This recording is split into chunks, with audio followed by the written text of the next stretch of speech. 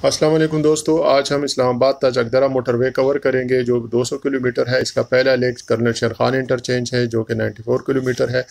हम अब अब हम इस्लामाबाद से स्टार्ट ले रहे हैं। ये जो है ना, इस्लामाबाद का टोल प्लाज़ा आ रहा है। आपने, हमने राइट की तरफ़ मुड़ना है लेफ़्ट पे लाहौर का साइड आएगा। यहाँ से एक जो है ना, रास्ता जाता है एयरपोर्ट की तरफ़। इस्लामाबाद का जो न्यू एयरपोर्ट है, और लेफ़्ट साइड पे जो राउंड अबाउट का रास्ता है, वो एम वन की तरफ़ जाता है। यहाँ पर हम जो है ना इस्लामाबाद टोल प्लाज़ा पे अब पहुँचने वाले हैं। यहाँ से आपने अपना वो एंट्री कार्ड लेना है और आगे जो है ना, ये जो हमारे पास तीन डिस्ट्रिक्स आएँगे, एक डिस्ट्रिक्ट अटक उसके बाद सवाबी और फिर मलाखंड का जो इलाका है, वो उससे गुजरेंगे तो ये मोटरवे का टोटल पार्ट है। यहाँ पर जो बड़े इंटरचेंजेस है, जो पहला इंटरचेंज आपको मिलेगा, वो वाक एंड टेक्सला या ब्राह्मा का इंटरचेंज है। यहाँ से आप पते जंग भी जा सकते हैं। ये तकरीबन 25 किलोमीटर टोल प्लाज़ा से है और 35 किलोमीटर इस्लामाबाद से है।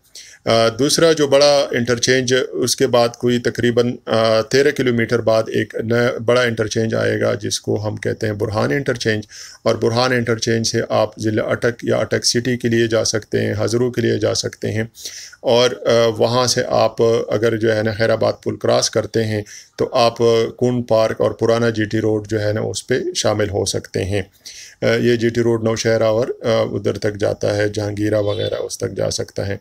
तीसरा जो बड़ा इंटरचेंज आएगा, वो इंटरचेंज जो है ना, वो हसन अब्दाल का इंटरचेंज है सॉरी एबटाबाद का इंटरचेंज है। एबटाबाद का जो इंटरचेंज है उससे आप नारान कागान हंजा वैली हंजराब एबटाबाद खुद ब खुद जो है ना मानसहरा इन इलाकों में जा सकते हैं हरीपुर जा सकते हैं।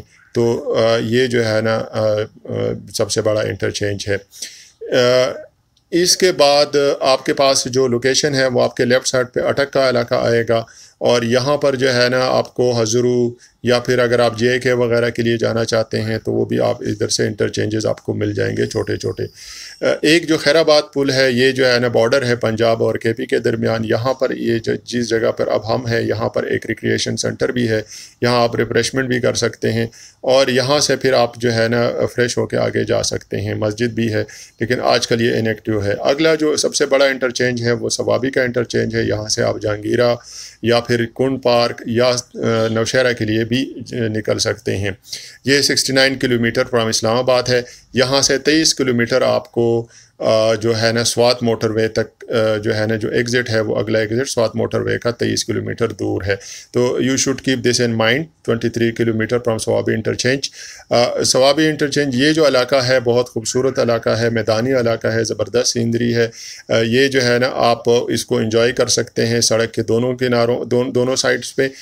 देख सकते हैं बच्चों के साथ और जो है ना खूबसूरत सीनरी है आप ज़रूर इसको इंजॉय करें। और ये जो पूरा इलाका है ये बड़ा खूबसूरत है।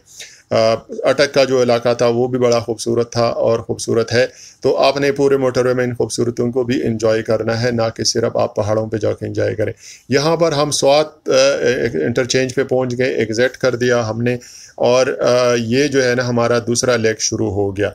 दूसरे लेग में जो है ना यानी ये 82 किलोमीटर है total distance Chakdara. Swat motorway वैसे 80 किलोमीटर है ये दो किलोमीटर जो है ना वो थोड़े से हिस्से से शामिल है। तो ये 84 किलोमीटर आप चकदरा तक पहुँच जाएँगे। चकदरा जो है ना इसमें जो आ, आ, जो आ, वो है यानी मेन इसका है, ये भी इसके दोनों तरफ़ जो है ना बड़े खूबसूरत वो है। ये हमने स्वाद टोल प्लाज़ा पे आपको वेलकम किया और यहाँ से 122 किलोमीटर आपको मंगोरा मिलेगा। 123 किलोमीटर जो है न गरा और 82 किलोमीटर पे जगदरा है। यहाँ से आपने ये नोट करना है कि आपको इतने डिस्टेंस तय करना है। अब जो है ना आगे पे जो इंटरचेंजेज आएँगे तो इसमें जो सबसे इंपॉर्टेंट इंटरचेंज है यहाँ से आप सवाबी या मर्दान, इसके इंटरचेंज भी आपको मिलेंगे, आपको वीडियो में नज़र भी आएगा, लेकिन आपका ये डिस्टिनेशन नहीं है और उसके लिए आप मर्दा जो पुराना जो पिशावर मोटरवे है, उसको भी यूज़ कर सकते हैं। तो ये जो मोटरवे है, अब ये जैसे मर्दान का एग्ज़िट आ रहा है, इसका आपको फ़िलहाल कोई वो नहीं है। ठीक है? तो अब जो है ना, जो मशहूर है वो काटलंग का इंटरचेंज है। काटलंग का इंटरचेंज में ये है कि वहाँ पर एक रिक्रिएशन सेंटर भी है सर्विसेज़ है। आपको मस्जिद, आपको जो है ना, मस्जिद मिलेगा। आपको उसके साथ आप जो है ना वाशरूम जाना चाहते हैं, आप वज़ू करना चाहते हैं तो आप रिफ़्रेश हो सकते हैं। और अगर आप पेट्रोल वगैरह डलवाना चाहते हैं गाड़ी में तो वो पेट्रोल आप डलवा सकते हैं। इसके इसके अलावा जो यहाँ की सीनरी है, वो बड़ी खूबसूरत है। आप लेफ़्ट राइट दोनों साइड्स पे जो है ना वो आ, आ, जो है ना आपको बड़ी खूबसूरत सीनरी मिल जाएगी। तो आप काटलंग इंटरचेंज ये तो जो वीडियो है इसका रेफरेंस इस्लामाबाद मैंने इसलिए ले लिया है कि इस्लामाबाद मोस्टली लोग इधर आ सकते हैं कराची से लाहौर से और उसके बाद अपना टूर प्लान जो है ना यहाँ से कर सकते हैं। तो काटलंग जब आप पहुँच जाते हैं ताम क़्याम ताम सेंटर पे आप अगर इधर नहीं भी रुकना चाहते हैं तो कोई बात नहीं है अगर आप थके हुए नहीं हैं लाहौर से नहीं आए हैं तो अगर लाहौर के लोग हैं या कोई दूर के लोग हैं तो उनके लिए ज़रूरी यही है कि वो इस क़्याम ताम पे आ, कोई अपने आप को रिफ़्रेश करें। और इससे तकरीबन जो है ना पचपन किलोमीटर जो है ना वो चकदरा है और उसके साथ पचपन के साथ आप चालीस यानी आप ये कर लें कि तकरीबन जो है ना अठहत्तर किलोमीटर वो है स्वात है या फिर जो है ना, अठहत्तर अस्सी किलोमीटर पे तेमरगरा है। ठीक है, ये डिस्टेंसेस मैंने लिखे हैं एग्जैक्ट डिस्टेंसेस आपके पास आएँगे। बहरहाल बताने का मकसद ये था कि यहाँ की सीनरी बड़ी अच्छी है, खूबसूरत है और यहाँ आप इसको इंजॉय कर सकते हैं। यहाँ से फिर आप जो है ना आपका जो अगला स्टॉप है वो जिससे आपने इस मोटरवे से निकलना है, वो है पलई का इंटरचेंज है, जो कि वहाँ से आप ने इस मोटरवे, स्वात मोटरवे से एग्ज़िट करना है। और वहाँ पर पलई इंटरचेंज पे आपको तीन रास्ते मिल सकते हैं। वो आपको वीडियो में शो भी हो जाएँगे। एक जो रास्ता है, वो है राइट साइड की तरफ़, वो पीर बाबा की तरफ़, बुनेर की तरफ़। या सवाड़े में अगर आप जाना चाहते हैं तो वो बुनेर की तरफ़ वो इलाका है। उधर आप जा सकते हैं। पीर बाबा जो मशहूर जगह है, वो तकरीबन फोटी सेवन किलोमीटर यहाँ से दूर है। यहाँ पर आपने एक यू टर्न लेना है और यू टर्न के साथ आपने लेफ़्ट हो के आपने टूल प्लाजा से एग्ज़िट करना है, क्योंकि आगे जो मोटर है मोटर वे है, वो अभी तक नहीं बनी है। वर्क इन प्रोग्रेस है। जो पलई इंटरचेंज पे जब आप पहुँच गए हैं तो आप सामने जो तीन रास्ते हैं, उनमें से एक पीर बाबा की तरफ़ है, जो राइट की तरफ़ है, और जो लेफ़्ट की तरफ़ रास्ता है, वो दरगई की तरफ़ है। आपने न लेफ़्ट जाना है, न राइट जाना है। हाँ अगर आप पीर बाबा जाना चाहते हैं, और वहाँ से स्वात आना चाहते हैं तो एक और जो बरीकोट तक एक रास्ता है, वो मौजूद है कड़ाकड़ के ज़रिए। आप जो है ना, वो आ सकते हैं पीर बाबा से। अगर आपको कोई जो है ना आप मतदीन में से हैं तो आप उधर पीरबाबा जा सकते हैं और वहाँ से कड़ाकड़ के ज़रिए बरीकोट आप स्वात सड़क पे दाखिल हो सकते हैं। यहाँ से जो आ, सड़क है ये थोड़ी सी टूटी फूटी है वर्क इन प्रोग्रेस है जैसे मैंने पहले कहा है इसका थोड़ा सा तकरीबन जो है ना यहाँ से जो फासला है चकदरा का वो कोई तेईस बाईस तेईस किलोमीटर है। तो इन बाईस तेईस किलोमीटर में जो है ना, कुछ लेग्स जो है ना, वो सड़क तो बेहतरीन है, लेकिन कुछ लेग्स जो है ना, वो मोटरवे पे हैं और कुछ जो है ना ये एक साइड पे एक सड़क बनी हुई है, उसमें चढ़ाई है, जो अभी आप इस वीडियो में देख भी सकते हैं। यहाँ पर भी आपको जो है ना, पेट्रोल भी मिल सकता है छोटे मोटे रेस्टोरेंट है, यहाँ से भी वो आप जो है ना फ्रेश हो सकते हैं, और यहाँ पर मस्जिद भी एक है, यहाँ पर आप नमाज़ पढ़ सकते हैं।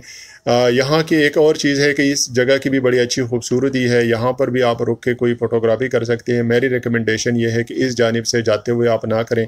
वापसी पर आप यहाँ पर ज़रूर फ्रेश हो जाएँ और यहाँ पर फ़ोटोग्राफी भी करें और जो है ना इस इलाके की खूबसूरती को इंजॉय करें।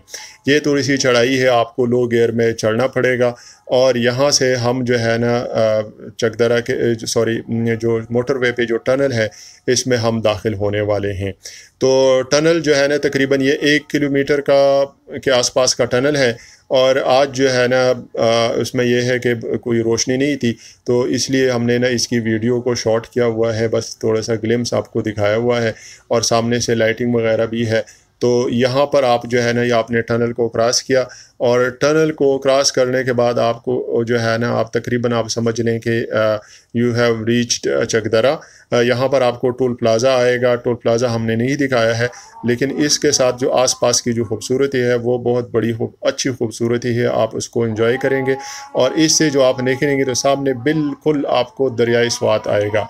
यहाँ से आप लेफ़्ट मुड़ेंगे तो बटखेला और राइट आप जाएँगे तो स्वात कालाम और जो है ना, सीधे आप जाएँगे तो चकदरा की तरफ़ जाएँगे। चकदरा, चतराल, सीधी सड़क जो है ना, चतराल की तरफ़ है चतराल की तरफ़ है कुमराट की तरफ़ है, दीर की तरफ़ है, तेमरगरा की तरफ़ है लेफ़्ट पे आपका कालाम, स्वात ये इलाका है और जो है ना, ये आपने ऊपर चढ़ना है राउंड अबाउट और आपने राइट होना है।